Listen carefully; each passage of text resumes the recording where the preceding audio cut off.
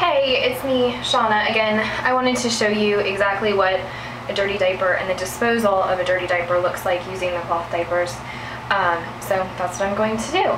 This is a diaper that I just changed um, and didn't even require me to wash my hands, even though I do wash my hands every time I change her diapers. Um, these are the wipes that I wiped her with. And as you can see, there is the liner, there is the solid waste on top of the cloth diaper. Now the biggest difference you're going to find if you're used to disposable diapers um, when it comes to wiping is that with most disposables you're going to take the first swipe with the diaper, especially if you have um, a, a solid waste diaper. And with this, you're not going to do that. You're just going to peel the diaper back, and the liner usually is is stuck up on her.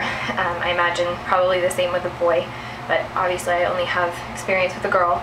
Um, but this is is is stuck up on her.